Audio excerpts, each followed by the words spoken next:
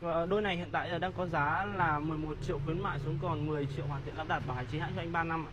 Cái cấu hình nó công suất nó nhỏ hơn thì giá thành nó sẽ thấp hơn một chút. Ví dụ như V20 thì nó chỉ có giá 6 triệu 8 hoàn thiện lắp đặt cho anh thôi. Chưa xem xem cái kia. Dạ vâng. Kia đây rất là nhỏ hơn ạ. Công suất nhỏ hơn ạ. Cốt con kia thì nó không rộng bằng con này được. Con V30 thì tại là cốt nó rộng hơn. Đôi này thì ờ, con này là công suất là cốt là 55 pha 65 ạ. Đấy, còn đôi 60 70 hiện tại em đang hết. Nếu mà thực ra là nếu mà xe anh là dòng sedan ấy thì anh lắp được cái đôi này tốt. Hiện tại như đôi này nó là V30 Ultra nó đang là dòng tốt nhất phân khúc trong phân khúc LED. Đấy. Công suất nói chung là chạy con này khi mà cốt nó rất là rộng. Đấy, cốt con này thì hai bên nó nó cũng nó cũng uh, tỏa ra nhưng mà nó không rộng của con này được. Cái con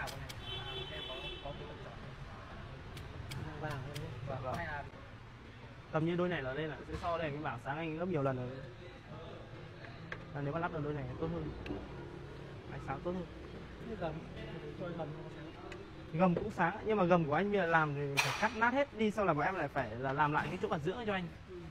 Cái đấy phải làm mất được một ngày nữa cái gầm con này thì bọn em phải quét ra. Đây, chấm kia phải quét xuống tận đây này.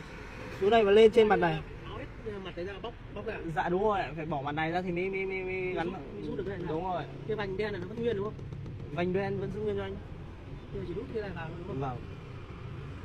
Con này sẽ bỏ cái bi cũ và thay bi mới tức là ra mặt đèn nhé, xong rồi mẹ đi ờ, làm ờ, vệ sinh hết sạch sẽ keo này.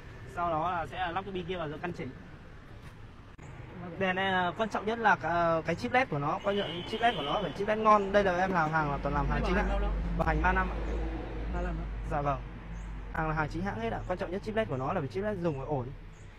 Chứ còn ờ, nhiều có những con nhá, ánh sáng nó có thể bằng con kia nó chỉ là 4 5 triệu nhưng mà quan trọng nhất là chip led của nó, chip led của nó ờ, cái hàng rẻ thì anh đi sau một thời gian ấy cái độ bền nó không được cao.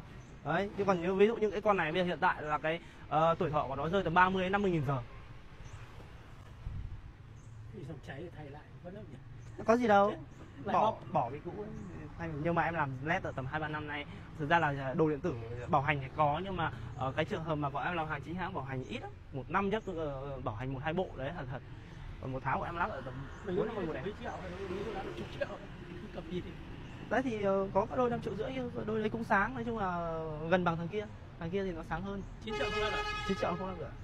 9 giờ. Ngày 11 12. tầm đấy 3 tiếng tầm 3 tiếng ạ. làm thì ờ, nói chung là làm cái này không không không làm vội làm vàng được. Phải có quy trình của nó. Thì ngại mỗi cái bôi keo thôi. à keo thì ờ, anh anh đi anh anh đi xem.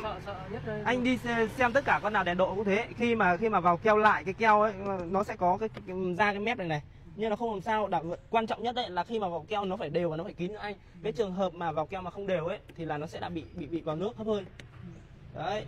Quan trọng nhất là vào keo này vào keo đi keo phải đều và ép vào phải đều. Chỗ ép chỗ này ép chỗ này nó phải đều. để nó cong queo được.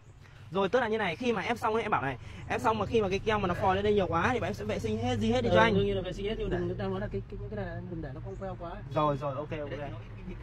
Anh làm cho anh cho sớm.